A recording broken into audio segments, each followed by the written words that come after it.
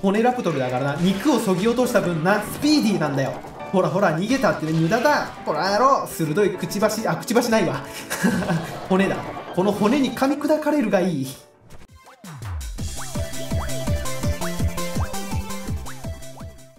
皆さんこんにちは。カンタです。前回の動画の最後の方で話していた骨恐竜たちですねこれが。いやー見事なものですなこれなもうね。骨っていうだけでさなんかワクワクするよね。ハロウィンイベントの限定アイテムでこんな感じになるんですよね。で僕はこの3体分のアイテムしか持ってないんですけれどもレックスのやつとかもね確かあるはずなんですよ。いやー欲しかったなー。ぜひともジョセフにね、装備させてあげたいところだったんですが、うん、僕の実力ではとりあえずこの3体を骨化させるので精一杯でした。まあ十分ですけどね、この見た目。これだけでもね、十分です。なんだろうな、骨フェチとか別にそういうわけでもないんだけど、このフォルムを見るだけでワクワクしてきますよ、本当に。ね、なんかいいよね、この、この肋骨よ。この肋骨よ、なん、何？なんで動いてんだよっていう野暮なツッコミはひとまずさておき、ね、ただ見てるだけで楽しい。いやー、目がね、落ちくぼんでるよね。当たり前だけどね、骨だからね。うん。トリケラトプスの骨はこんな感じなのか？なんか、足おかしくなってねえか？足おかしくなってねえか、ちょっと。変なところにいるからかな？ちょっと移動しよう。よいしょ。ここなら大丈夫か？あー、しっかりしてるね。骨が一部消えてたからさ、さっき。足のところね、前腕ぐらいかな？うん、すっけすけだな、しかし。いやー、まあそんな感じでオープニングは骨恐竜たちをね、めでるところからのスタートでございます。で、その先のやるべきことはまあいつも通りのクラフトなんだよね。こいつを完成させないといけないからね。いつになったら完成するんかな、ほんと。うーん、先は長そうだ。うーん。とりあえず今日のところは、格子状に壁を設置していきましょうかね。こんな感じでね。1マス分空いてるだけだったら、えー、一番ね、襲撃率の高いアルゲンタビスが、この枠内の中にね、入ってこれないっていうことがこの間分かりましたんでね。とりあえずそんな感じでやってみたいと思います。このディス族の工房でね、壁を大量生産してね。さて、建築やっていきますか。もうね、この建築を見せるのはね、非常に忍びないんですよね。地道な地道な作業ですから、これ。あー、ここじゃないんだよ。これほんとね、繊細な作業が必要になってくる。ここだよし、オッケーオッケーオッケー。もうね、高速建築とかね、これに関してはちょっと見せれないかと思います。あー、見えないな。えーと、これでいけるか？あ、眩しいな。あ、いけそういけそういけそう。オッケー こんな感じでね、一つ一つね、こうね、乗りながら設置していかないといけないんですよ。よし、いけたこれだよしよしよしよし。この絶妙な感覚。ああ、この距離だともう設置できないか。U ターンする必要があるな。よいしょって言って、オッケーいけた。今回これかなりスムーズにいけてますよ。前はね、このね、倍以上の時間がかかって設置してましたからね。よしよしよしよし。この地道な作業、この地道な作業もね、やっぱ皆さんにお見せしていけるんだったらね、していった方がいいかなと思いまして、えー、このようにお見せしている次第でございます。OK だな。とりあえずこれでいいかな、ここは。で、この横のところも行きますか。よいしょ。ここね、一マス上げて、ああ、外れた。いやー、この、こう、この工程はね、見ててもね、全く面白くないでしょうね、きっと。申し訳ないです。そんなのをお見せしてしまって。まあね、たまにはね、僕のこの苦労をね、分かち合うのも悪くはないかなと思いましてね。よし、オッケーオッケーオッケーオッケー。今回割とスムーズだぞ。全然ダメな時はね、これ、もっと視界をね、ぐるぐるぐるぐる回してね、もうほんと見てられないみたいなカメラワークになってしまうことが多々あるんですよ。だけれど今日は、うん、いい感じだ。いや、スムーズだぞ。職人になりつつあるかもしれない。壁設置の。鳥に乗りつつのね、設置って意外と難しいからね、これね。いや各方面から引っ張りだこになるかもしれないな予約殺到するかもしれない。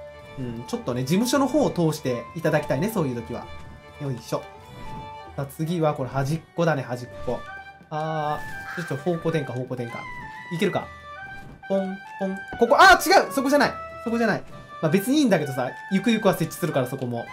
ゆくゆくはそこも設置するからいいんだけど、今日の計画はそこじゃないんだ。あ、あ、あ、ここじゃない。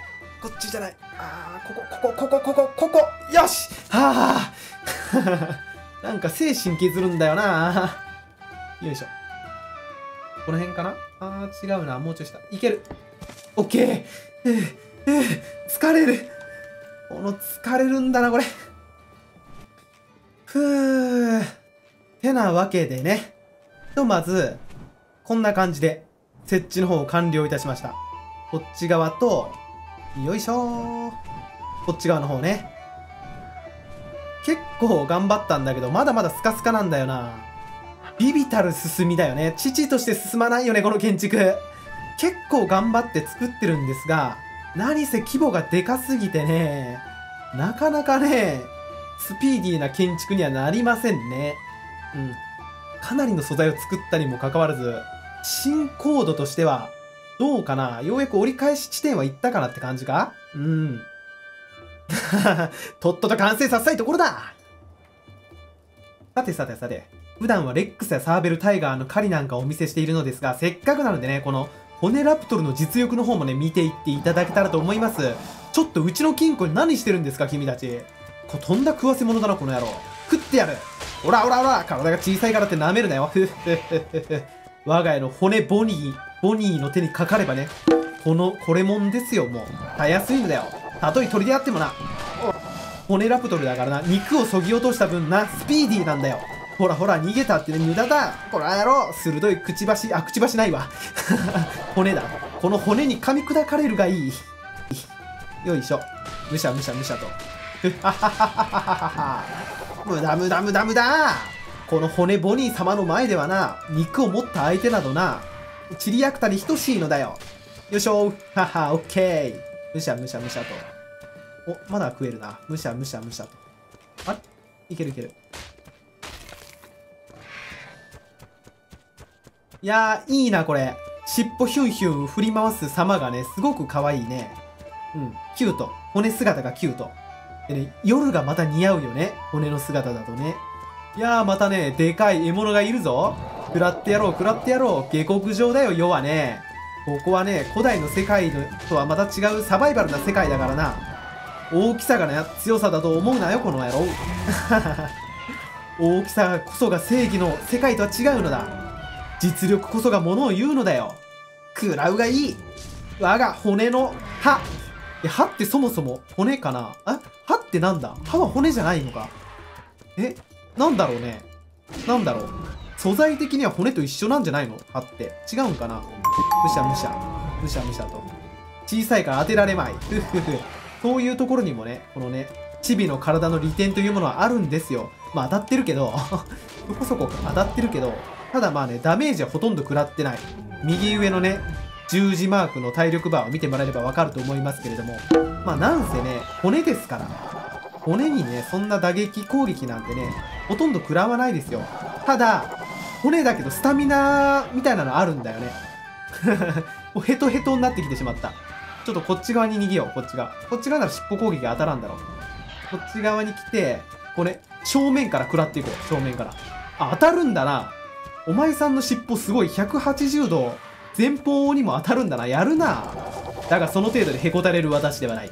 首筋の根元をね、丸かじりしていってやろう。小さい恐竜が勝つというところをね、お見せしてやるよ。お、逃げてる逃げてる。